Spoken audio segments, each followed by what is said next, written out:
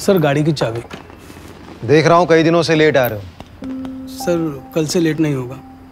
कल से कैसे लेट नहीं होगा? मतलब कल से बिटिया की तुम्हारे मोबाइल पर क्लासेस बंद। हैप्पी दिवाली